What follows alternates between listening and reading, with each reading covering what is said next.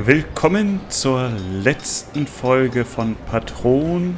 Oh, Clickbait, oh nein! Er hat die letzte Folge angekündigt. Oh, für diese Aufnahmesession. Nein, ähm, ich würde bald gerne frühstücken und insofern darf ich jetzt nicht vergessen, die Uhr wieder zu starten, sonst habe ich wieder keine Ahnung, wie lange die Folge geht. Ich mache hier völligen Stuss an der Uhr. Wird Zeit, dass ich ein paar Kohlenhydrate kriege. Kohlenhydrate. Ein schönes Wort.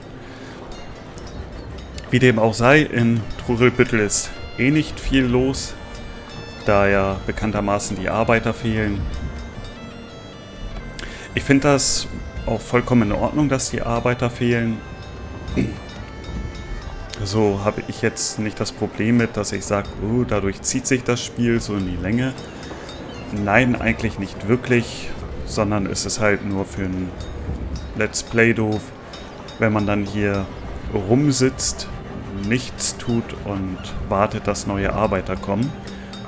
Und ja, dadurch, dass ich das ja auch nicht nebenbei streame oder zurzeit auch noch gar keine Community aufgebaut habe, dass, wenn ich streamen würde, mich mit der unterhalten könnte, ist man dann manchmal auch ein bisschen wortkarg. Und von daher ist das ein bisschen schwierig, macht aber auch nichts. Wie dem auch sei, es geht weiter in Trurelbüttel. Oder zurzeit passiert eigentlich nicht viel. Feuerholz ist reichlich da. Nahrungsmittel sind auch reichlich da. Wie steht's denn um den Fisch?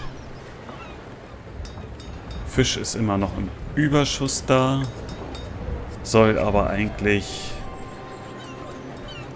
ähm, na, verkauft werden, aber die Kapazität ist halt auch nicht so hoch, 150 pro Monat. Ich hoffe mal, dass es 150 kommen rein und 150 gehen raus und nicht 75 rein, 75 raus.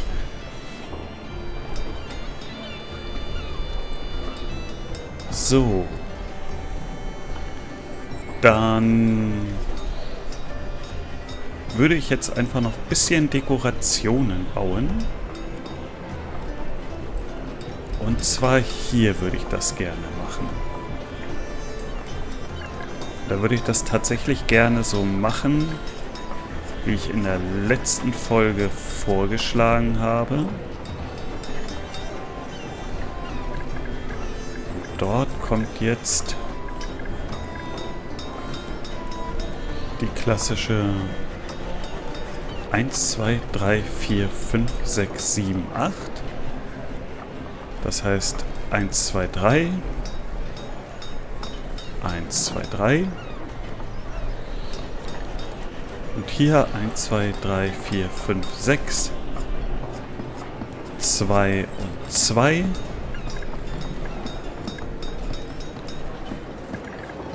Und der Rest wird mit Wegen vollgestopft.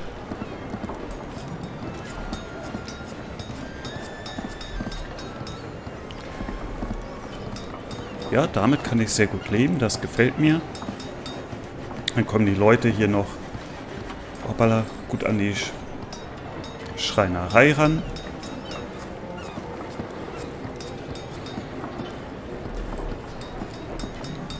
Aber es ist etwas dekorativer.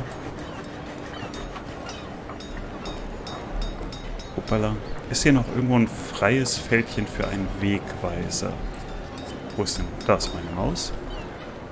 Hm, nein.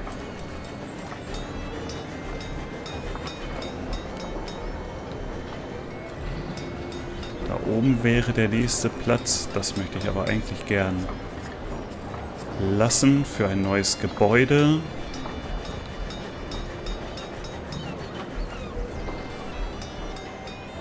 Hier würde ich auch erstmal den Platz lassen. Da steht schon eins. Hier kann man noch Dekorationen hinbauen. Aber hier ist ja jetzt gerade erst welche entstanden. Sie soll ja gleichmäßig verteilt sein. Mal gucken. Hier wäre noch eine Lücke. Oh, guck mal hier, das eignet sich doch. Wunderbar. Für die klassische Ziegelsteinmauer.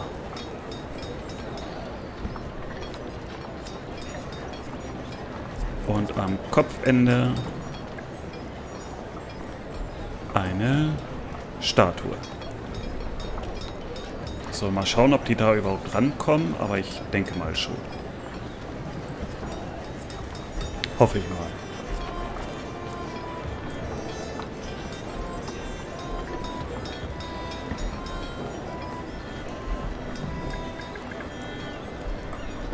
So, dann das Gitter wieder aus. Gut. Oh, das Arbeiterzeichen ist weg. 19. So, das heißt, ja, 18 sollten eigentlich mindestens bleiben. Wie steht es denn um das Weizen? 1060. Die Destillerie verbraucht 300 pro Jahr. Das heißt, man könnte eine Windmühle bauen. Dann würde ich jetzt noch mal gucken. In der Nähe eines Feldes. Gut. Die Bodenfruchtbarkeit. Äh, Produktionsgebäude, so heißt das Ganze. Die Windmühle. Mhm, mhm. Ich hätte da dann natürlich auch gern die Bäckerei in der Nähe. Gibt es da dann noch was?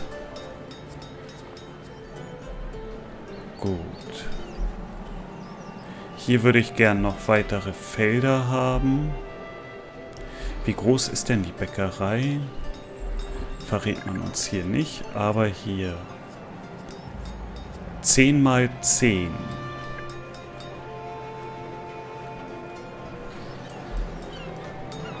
Das heißt, wenn ich die mal kurz abbreche, 1, 2, 3, 4, 5, 6, 7, 8, 9, 10. Die könnte gut hier hin.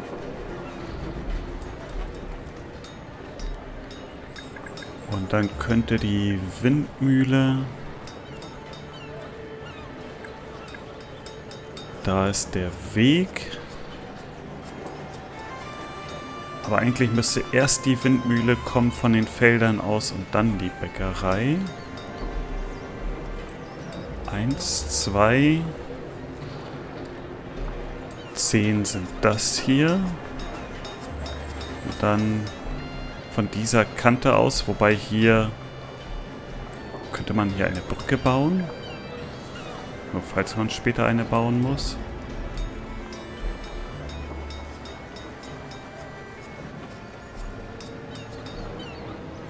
Okay, nochmal von hier probiert. Es ginge. Okay.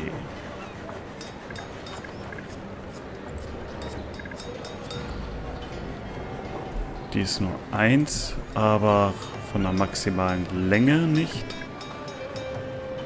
Ich würde aber, wenn dann auch schon gerne die große Steinbrücke nehmen. Die ist zwei breit. Würde aber rüberkommen. Das heißt, hier muss ich zwei Platz lassen. Eins, zwei. Eins, zwei, drei, vier, fünf, sechs, sieben, acht, neun, zehn. Das heißt, die ginge direkt bis hier ran. Und dann bis hier runter. Das heißt, die Windmühle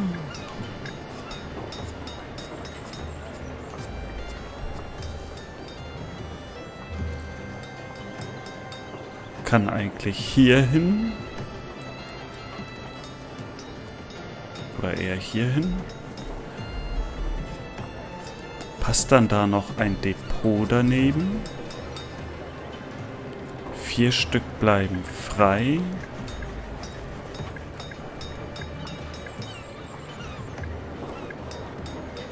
War das Depot nicht hier? Da ist es. 7 mal 9. Nein, das passt bei weitem nicht. Aber ich finde die Windmühle hier sehr dekorativ.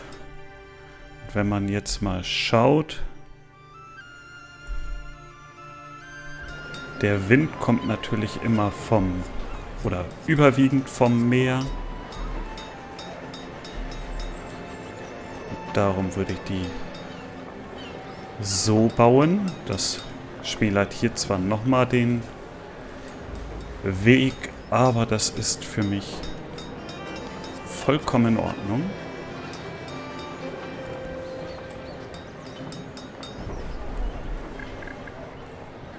Das heißt, da kann man eigentlich, wobei ich mache erstmal diesen Weg um mir sicher zu sein, dass ich den gerne so hätte. So, hier sagte ich, gehört ein Doppelweg lang.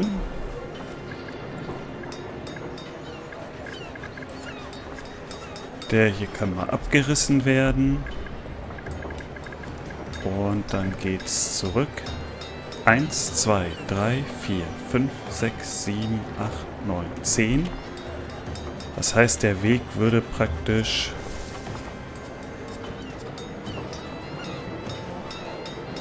hier so weitergehen. 1, 2, 3, 4, 5, 6, 7, 8, 9, 10 bis hier.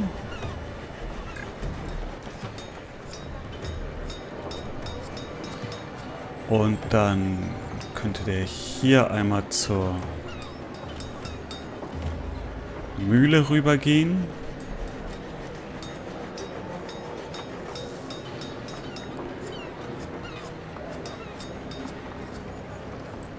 Und dann würde ich hier noch einen Weg längs gehen lassen. Und was hier dann hinkommt, 1, 2, 3, 4, 5, 6. Schade, gut, das nun wirklich nicht. Aber hier wird man schon irgendwas hinkriegen.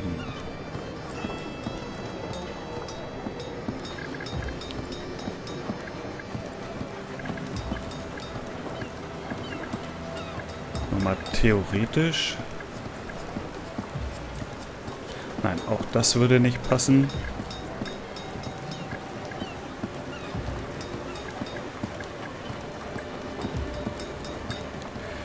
Ja, dann würde ich sagen, klassisch Brunnen.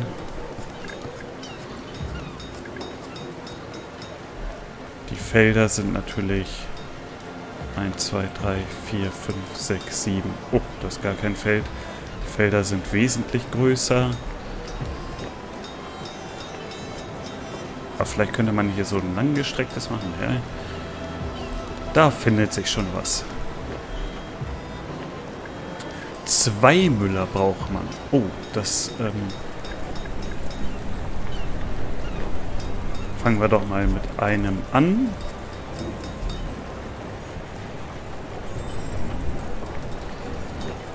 Nicht genug Arbeiter.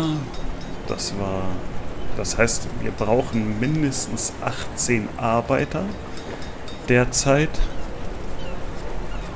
Okay. Haben trotzdem einen Müller zu wenig. Hoppala.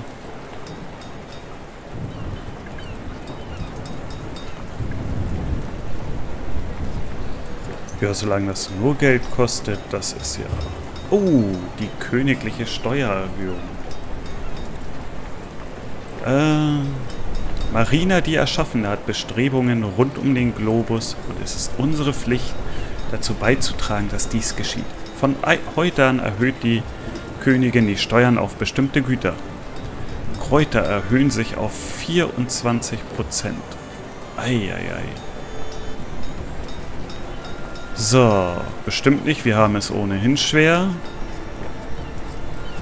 So, damit würde die Treue der Händler und Arbeiter steigen. Aber da, Ja, nehmen wir das mal an. Und dann wird dieses Handelsabkommen halt aufgelöst.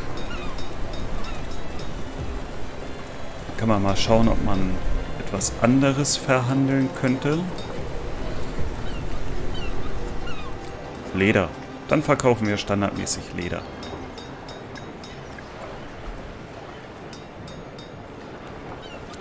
So ist das ja nicht. So, wird bis auf 1000 runtergesetzt. Dann kommt dadurch regelmäßig Geld rein. Und wir waren gerade dabei, die Mühle zu verbessern. Auch dafür haben wir problemlos das Geld. Und auch dafür ein bisschen weniger Weizen verbrauchen wäre natürlich... Achso, äh, nee, gibt es gar nicht. Nur eine erhöhte Produktion, na gut, was aufs Gleiche rauskommt, ob ich jetzt weniger Ressourcen verbrauche oder äh, mehr rauskriege, das ist ja das Gleiche. Ein leerstehendes Haus. Gefällt mir die Mühle. Doch, das gefällt mir.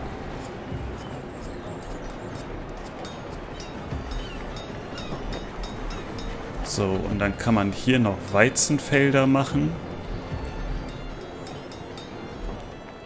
Hier geht eine Brücke rüber und die nächste geht dann irgendwie hier rüber. Und dadurch kommen sie auch alle gut an.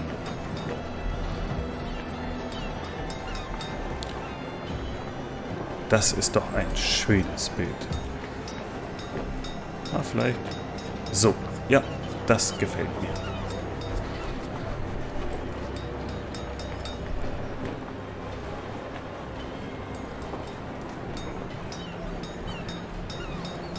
Ich würde ja sagen, dann kann man auch direkt hier dekorieren, aber ich glaube, das ist derzeit ein bisschen überflüssig. Oder nein, nicht überflüssig, aber da gibt es bessere Stellen zu dekorieren. Ich überlege gerade... Irgendwo müssen ja auch mal wieder Leute wohnen. Die Schule hätte einen Radius bis hier. Hier kommt die Bäckerei hin. Das heißt, man könnte hier noch ein, zwei Wohngebäude aufstellen. Ja. So aus mit dem Raster.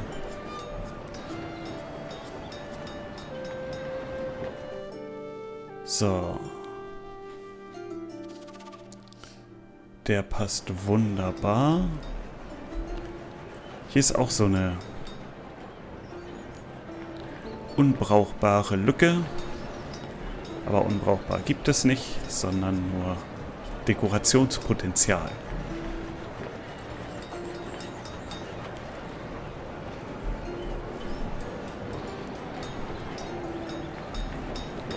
Gut, gut.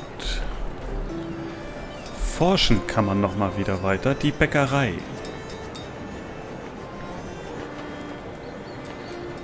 Ja, das kostet nur Geld. Das nehmen wir doch direkt dazu.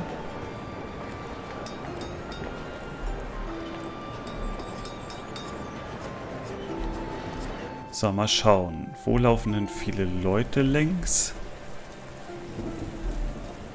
Oh, es ist ein Arbeiter nachgekommen. Der wird auch schön Arbeiter bleiben.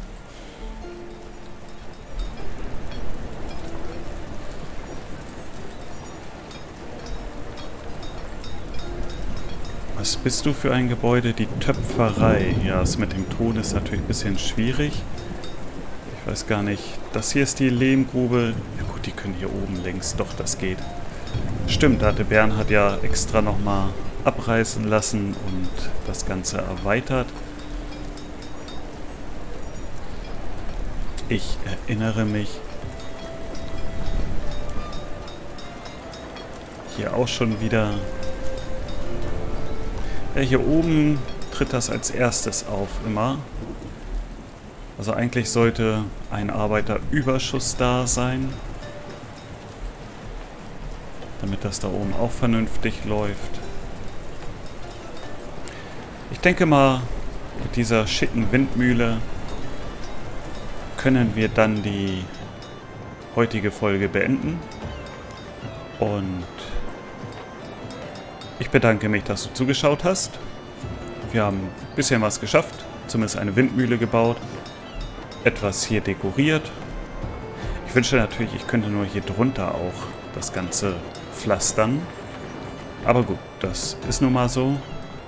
Und ich sage Tschüss, bis zum nächsten Mal.